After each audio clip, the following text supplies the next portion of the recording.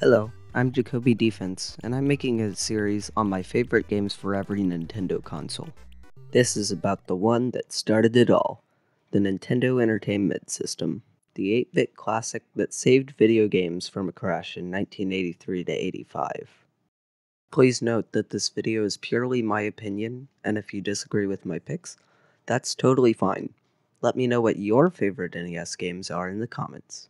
But now, let's go! Number 5. My pick for number 5 is Super Mario Bros. 2, but not the SMB2 that you remember.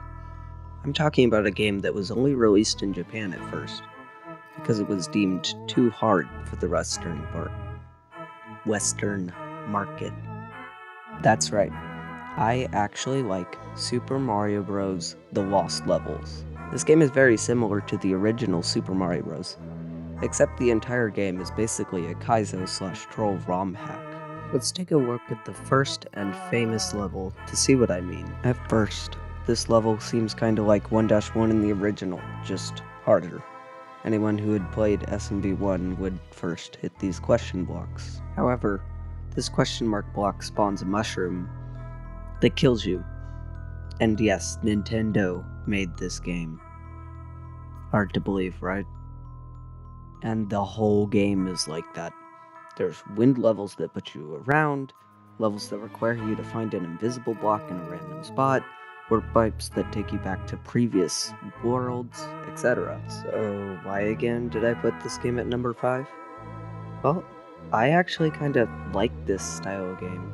Being a well experienced troll creator in Super Mario Maker, I kind of appreciate this. Now, yes, a lot of this game is needless frustration, but it just kind of makes you laugh and move on to the next step. Besides, there isn't really much competition for me since these are all 8 bit games. Number 4. Now, I'm not huge on RPGs. I like some, but they aren't the focus of my channel. However, there's one NES RPG that really all other games take elements from, and that is none other than Final Fantasy. This is the turn based RPG that really defined what this genre is. This game has somewhat of an actual story, which is odd for NES games, upgradable equipment, basically everything that you would find in any other JRPG. The thing that is so amazing about this game in particular is that they managed to cram this onto an NES cartridge. This game is only 144 kilobytes. You'll go through towns talking to people, fight enemies, bosses, learn about the story, and get stronger and stronger. However, while you are playing the game, you're constantly reminded that this is a 144 kilobyte NES game. You can see that many NPCs have reused dialogue. You have a limit to how many character your names can be. All of the NPCs just walk in place. If this was an N64 or a GBA game, that this might be one of the best games ever made. Number 3. This game is about exploration, crawling your way through Hyrule or dungeons, and it needs no introduction. From the sword in the cave to the Triforce in Link's hand, this game preserves Miyamoto's childhood dream of exploring the unknown. The music for this game is really good. It might be some of the best 8 bit music ever. Hyrule Field, the dungeon music, all the sound effects. It's just great. Although I do wish there was a little more variety. The combat in this game is different from all the other Zelda games in that it relies on the fact that Link can only really swing his sword in four directions, instead of eight like the other 2D games, and 360 like 3D games. Every enemy in this game is out to get you, and you have to fight back hard. Expect to die many times, as this is no easy game. Just like Final Fantasy though, this game suffers from being 8-bit. The characters all have short dialogue and terrible grammar. Also, nearly the entire story comes from the manual rather than the game itself. This game was also one of the first games that had the option to save. This means that unlike SMB and SMB2J, you don't have to play the whole game from start to finish in one go to avoid losing progress.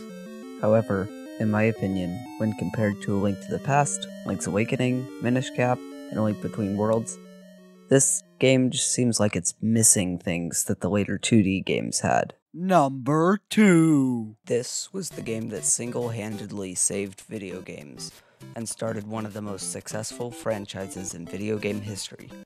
But more than that, this game actually holds up compared to its successors, unlike many others on this list.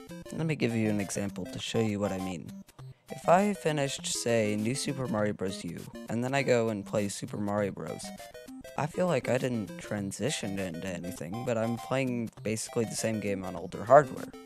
But if I just finished playing, say, A Link to the Past, and now I want to play the original Zelda by comparison, I have to relearn about 5 eighths of the game. This game has the same basic grid like structure, the same enemies for the most part, the same power ups for the most part, same controls as all the other 2D Mario games. So it just feels like another one of those, and it's good. Also, this game has a second quest, but it's basically just the same thing, except all the Goombas are replaced with Buzzy Beetles. So much harder, wow. This is one of the few NES games that still holds up today, and that's why I have it at number 2. Whenever I replay Super Mario Bros. 3 on a Wii U Virtual Console, I tend to forget that this game wasn't released on the Super Nintendo, but is still an NES title. The game would be quite impressive in my opinion, even if it were an early Super Nintendo game, but that Super Mario Bros. 3 was still released on the NES always blows my mind. Number 1. I totally agree with this.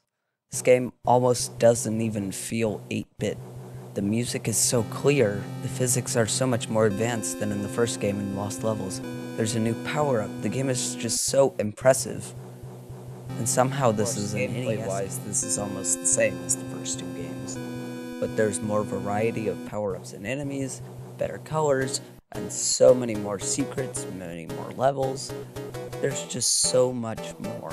Of course, this game is much harder than the original, and I had to use several save states and warp whistles just to show you footage of World 8. However, this is the best holding up NES game, and that's why it's at number 1. Thank you for watching this video.